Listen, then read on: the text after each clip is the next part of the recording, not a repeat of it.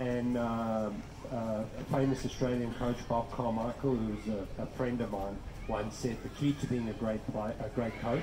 is to coach great players. And he was very, very uh, sarcastic